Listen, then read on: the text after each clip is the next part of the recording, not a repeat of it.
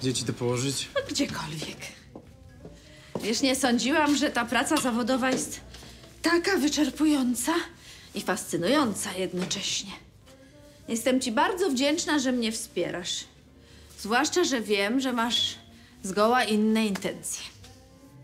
Wiedziałaś od początku, że chodzi o Martę? Może nie od początku. Nie licz na to, że zostanę dłużej.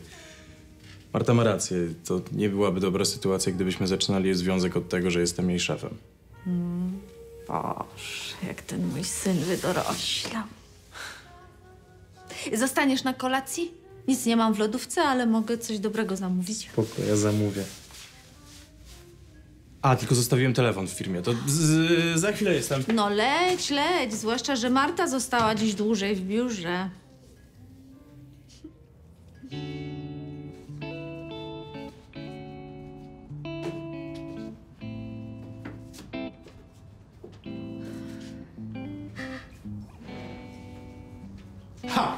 Mam cię. Jezus! Przeszukujesz tajemnice firmy, żeby je donieść konkurencji, tak? Przyłapałeś mnie. Poddaję się. Tak poważnie? No.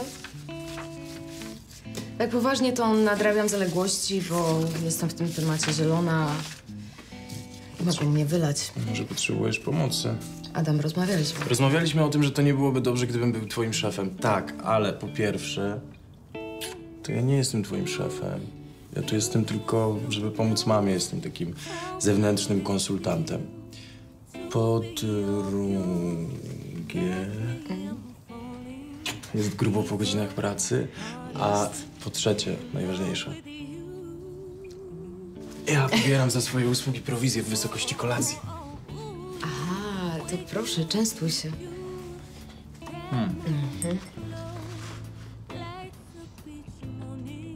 Nie jest to tak dobre jak kuchnia Nataszy. Taka, nie znasz gospodyni mojej mamy. Nie znam. Nie. Świetnie gotuje. Gotowała. Nie chcę pytać, co się z nią stało. Dobrze, tak. E, panie konsultancie, no to musi pan teraz e, udowodnić, e, co pan jest wart. Nie wiem, za co zapłaciłam. E, więc y, jeśli chodzi o te kwestie, Tak? wiesz, przede wszystkim praca nie może generować stresu. Także trzeba zacząć od chwili relaksacji. No bardzo przyjemnie, tak, tak. E, Adam, możemy skupić się na pracy? Co, ja bym się na czymś innym. Rozumiem, ale zobacz. Ja, ja się muszę tego wszystkiego nauczyć.